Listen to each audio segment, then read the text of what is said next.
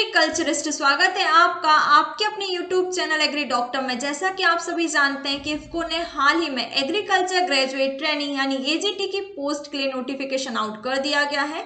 And आप इसके examination pattern and syllabus के बारे में जानना चाहते हैं। तो इस वीडियो में हम डिटेल में डिस्कस करेंगे कि इफ्को के एजीटी के लिए एग्जामिनेशन पैटर्न क्या होगा सिलेबस क्या होगा एंड सो ऑन क्वेश्चन के बारे में। तो पूरी इन्फॉर्मेशन के लिए वीडियो के लास्ट तक बने रहे और ऐसी न्यू एग्रो अपडेट के लिए अभी चैनल को सब्सक्राइब करें। सबसे पहले हम बात करते हैं इफ्को ईजीटी के सिलेक्शन प्रोसेस के बारे में। तो सबसे पहले आपको प्रिलिमिनरी एग्जामिनेशन देना होगा, जो कि ओपन इन्वायरमेंट में होगा।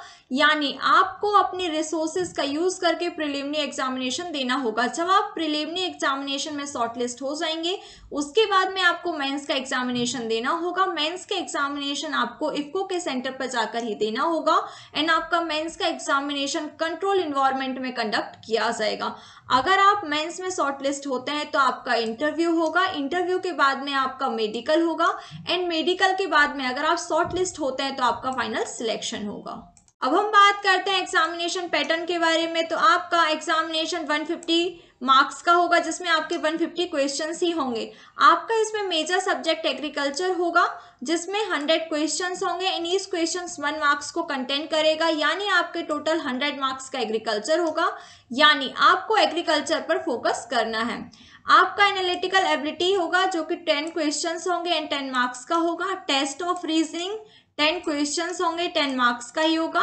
न्यूमेरिकल एबिलिटी टेन मार्क्स का होगा, टेन क्वेश्चन होंगे। General awareness on agriculture scenario national economy panchayat raj and cooperatives ten marks का होगा एंड टेन क्वेश्चन होंगे। कम्युनिकेशन स्किल, टेन क्वेश्चन होंगे एंड टेन मार्क्स होगा। यानी आपके 150 क्वेश्चन होंगे एंड 150 मार्क्स का आपका एग्जामिनेशन होगा। बात करते हैं प्रिलिमिनरी एग्जामिनेशन के जनरल इंस्ट्रक्शंस के बारे में। तो 150 क्वेश्चंस होंगे, इस क्वेश्चंस वन मार्क्स का होगा। यहाँ पर कोई भी नेगेटिव मार्किंग नहीं होगी। आपका एग्जामिनेशन में टू सेक्शंस होंगे। फ़र्स्ट सेक्शंस में 100 क्वेश्चंस होंगे, जो कि टेक्निकल होंगे। सेकेंड सेक्शन में आपके 50 क्वेश्चंस होंगे, जो कि जनरल एप्टीट्यूड से होंगे। लैंग्वेज में आपका सिर्फ़ एग्जामिनेशन इंग्लिश लैंग्वेज में ही होगा। आपको 150 क्वेश्चंस को अटेम्प्ट करने के लिए ओनली 60 मिनट्स यानी वन दिए जाए। बात करते हैं प्रिलिमिनरी एग्जामिनेशन के सिलेबस के बारे में। यहाँ पर आपका agronomy and soil science major portion होगा। क्योंकि एग्रीकल्चर से आपके हंड्रेड क्वेश्चन आएँगे तो आपको एग्रोनॉमी एंड स्वेल साइंस पे अपना फोकस देना है। एग्रोनॉमी में आपको प्रिंसिपल प्रैक्टिसेस एंड मेट्रोलॉजी पर फोकस करना है। स्वेल साइंस में manure and fertiliser and minor subject में agriculture economics agriculture entomology pest of crop horticulture genetics and plant breeding nematology agriculture extension weed science agriculture engineering plant physiology में आपको photosynthesis, respiration and transpiration के concept पर ध्यान देना है। Seed technology में seed germination and cell division organic farming पर भी आपको फोकस करना है। Biotechnology energy environment and agricultural institute agriculture में आपको फिशरीज पर बहुत ही कम फोकस को पे करना है। सेकेंड सेक्शन में जनरल एप्टीट्यूड होगा, जिसमें 15 क्वेश्चंस होंगे, जिसमें आपसे रीजनिंग एंड न्यूमेरिकल एबिलिटी पूछी जाएगी। रीजनिंग में आपको analogy coding decoding blood relation direction alphabet series mirror image non verbal series clocks and calendar number series embedded figure cubes and dice ranking decision making and arithmetic reasoning को पढ़ना है।